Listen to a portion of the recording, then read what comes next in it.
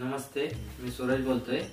आता तुम्हाला मी काय माहिती देणार आहे ते तुम्ही ऐकून घ्या कारण की मी तुम्हाला आता जे पंढरपूरला येतात त्या वारकऱ्यांसाठी किंवा मित्रमैत्रिणींसाठी एक माहिती देऊ इच्छितो की पंढरपूरमध्ये कोणकोणती अशी लोकेशन आहेत जे तुम्ही पाहण्यासारखी आहेत. तुम्ही पंढरपूरला कधीही आला तर प्रथम तुम्ही विठ्ठलाचं दर्शन घ्या. विठ्ठलाचं दर्शन घेतल्यानंतर तुम्हाला तिथून पुढचे जे मार्ग आहेत ते मी तुम्हाला आता सांगणार आहे. ठीक आहे विठ्ठलाचं दर्शन झाल्यानंतर तुम्ही प्रथम तिथे तुकाराम महाराजांचा मठ आहे.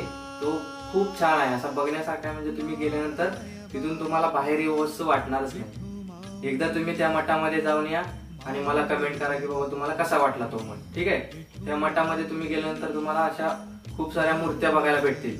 तिथे लहान मुले असतील किंवा वृद्ध लोक असतील त्यांना बघण्यासारखं कोणीही तिथं गेल्यानंतर बोर होणार नाही. तुम्ही कोणीही जावा तिथं तुम्हाला असं माइंड एकदम फ्रेश वाटेल. तुम्हाला वाटेल वा बाबा आपण गेलो ते एकदम पंढरपूर आपण फिरून आल्यासारखं वाटलं पाहिजे. ठीक आहे? त्यानंतर दुसरं लोकेशन आहे तुम्हाला तुळशी वृंदावन. तुळशी वृंदावन आहे तुम्हाला ते आधी प्रथमतः हे मठ झाल्यानंतर त्याच्या पाठीमागूनच रोड आहे. तुम्हाला तुळशी वृंदावन म्हटलं तर कोणतेही रिक्षावाला किंवा कोणतीही कार किंवा कोणतेही टू व्हीलरवाला किंवा कोणीही तुम्हाला माहिती देईल की ते कुठं आहे. ठीक आहे? तेही खूप असं बघण्यासारखं लोकेशन आहे तिथे तुम्हाला. गुलाबाची फुलं तुळशीचे पूर्ण झाडे असे तुळशीचे आहेत तिथे आणि विठ्ठलाची मोठीशी मूर्ती तिथे ठेवलेली आहे. तुम्ही तिथे गेल्यानंतर विठ्ठलाचं दर्शन साक्षात घेऊ शकता. ठीक आहे?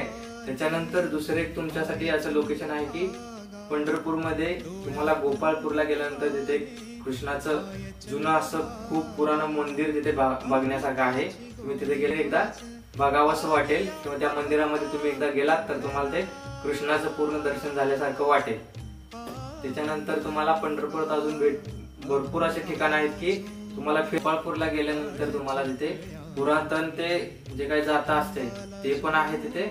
आणि तुम्हाला कृष्णाचे पदवर्ष आहेत म्हणजे ते तुम्हाला तिथे गेल्यानंतर दर्शन होईल. आणि त्याच्याखाली मंदिर आहे आणि तिथे एक नवीन बंधारा केलेला आहे. तर ते तुम्हाला पूर्ण बघण्यासारखं लोकेशन आहे. तुम्ही कधी गेला तर तुम्हाला ते बघावंसं वाटेल अजून तुम्ही पंढरपूरमध्ये गेल्यानंतर कैकाडी महाराजांचा मठ एक बघण्यासारखा आहे.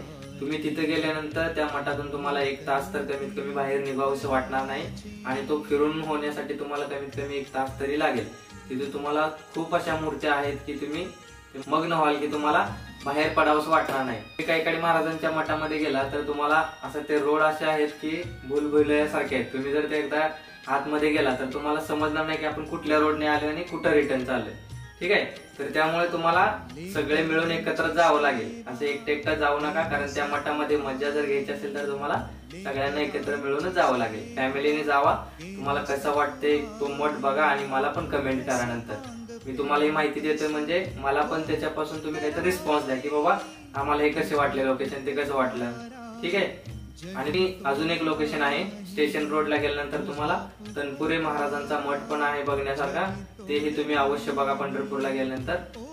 आणि तनपुरे महाराजांच्या मठामध्ये गेल्यानंतर तुम्हाला जर ध्यानस्थ व्हायचं असेल तर अवश्य त्या मठामध्ये जावा. कारण एवढी शांतता तुम्हाला पंढरपूरमध्ये कुठेही भेटणार नाही. जर तुम्हाला हे व्हिडिओ आवडला असेल तर मला कमेंट करा लाईक करा आणि सबस्क्राईब करा.